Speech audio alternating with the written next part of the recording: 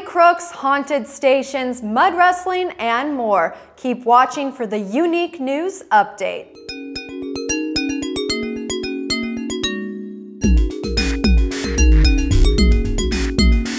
Hi everyone, welcome to GetTheDaily.com. I'm Dana Ward, dishing you the latest and most interesting in news.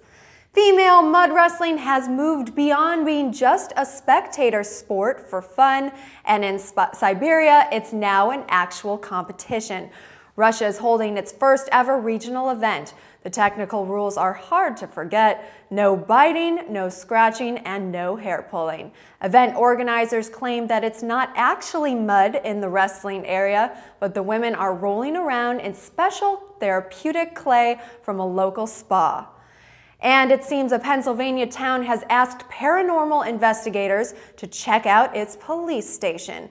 According to some station employees, creepy things have been occurring there for years, and only the fact that the place is haunted can explain it. Some say the typewriter types without anyone pressing the buttons, the attic door springs open when bolted shut, and the sidewalk sweeper starts up without a battery or a key.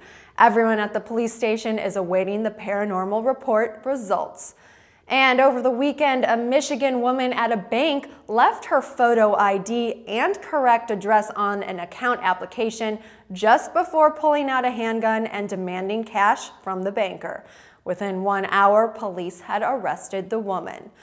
And postal workers in Wisconsin making the rounds are now armed with water pistols. It has become customary during this time of the year for workers on a specific route to get attacked by wild turkeys. A regional wildlife supervisor for the State Department warns locals to stop feeding the turkeys as the wild animals seem to be less afraid and more likely to attack humans. The supervisor also says postal workers are likely attacked most because the colors red, white, and blue attract the wild animal, as it's customary for the male turkey's head to change to all of these colors during mating season.